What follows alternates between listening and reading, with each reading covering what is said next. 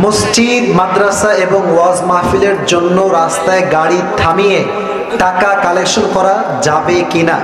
দুই নম্বর প্রশ্ন, প্রেম করে বিয়ে করা যাবে কিনা জানতে চাই। প্রথমটা ঠিকঠাক ছিল, তৃতীয়টা কেন করলেন বোন আপনি আমাকে? আজকাল এই মাদ্রাসা, মসজিদের উন্নয়নের জন্য অনেক উল্টাপাল্টা কাজ করা হয়। আমি অনেক জায়গায় দেখেছি, আমার মাহফিলও আমি দেখেছি মাদ্রাসার মাহফিল ছোট্ট ছোট্ট বাচ্চাদেরকে নিয়ে রাস্তাঘাটে রুমাল দিয়ে পাঠিয়ে দেওয়া হয়। এটা জঘন্যতম অপরাধ ছিল এখন, ঠিক কিনা? আপনি না খেয়ে মরে যান, আপনি বাচ্চাদেরকে আরও কাজ করাচ্ছেন? আপনি একজন ইমাম, আপনি একজন হুজুর, আপনাকে ব্যক্তিত্ববোধ বজায় রেখে চলতে হবে।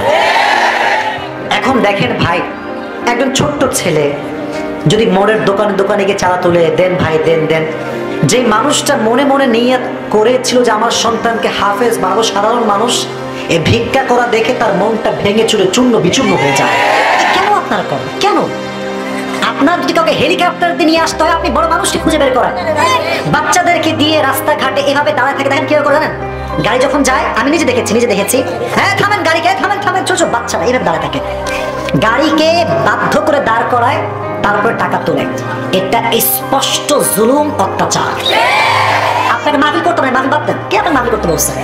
মাহফিল করবেন বীর পুরুষের মতো। ভিক্ষা যে মাহফিল করা যাবে না। আল্লাহ বোঝার দান সকলে পড়া আমি এটা তো কোনো প্রশ্নই না, এটা উত্তর সবার জানা আছে। বিয়ের আগে হারাম রিলেশন কখনো হালাল হতে পারে না, ঠিক কিনা?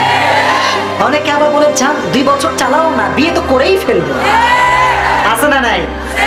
এটা হচ্ছে ওপরে ফিটফাট ভেতরে সদর ঘাট তোমার বিয়ে, বিয়ের গুষ্টি কিলাই দিবে, ঠিক না?